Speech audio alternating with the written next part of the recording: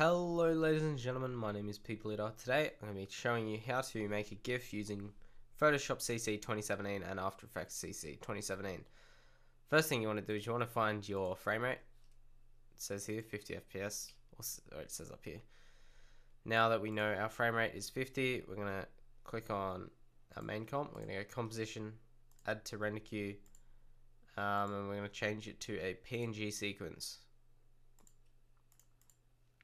I'm going to set where it saves. I'm going to do mine to the desktop.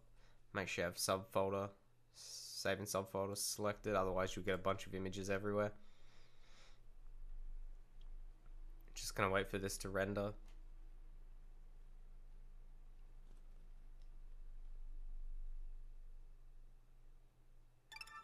Alright, now that that's rendered, we're going to go into Photoshop and we're going to click open click on our first image in this main comp and click image sequence and click open.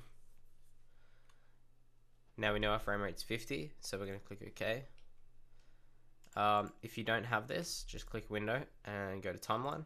And we're going to click File, Export, Save for Web Legacy, because this is an outdated thing, but they keep it in because it's pretty, it's pretty damn useful. Anyway, just wait for it to do a render uh, and in the bottom left you can see the file size. If it's over 8 megabytes, turn down dithering um, or turn colors down to like 128. Um, that reduces file size by a lot. Make sure the image size is 506 by something. For 506 by 506 minimum. Oh no, you can have the height lower, but yeah. Anyway. Now that if we play through it once, You can see that looks good. It works.